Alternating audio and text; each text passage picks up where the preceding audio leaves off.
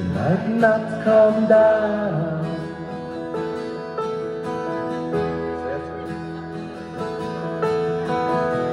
Jesus came down from heaven to earth, and the people said,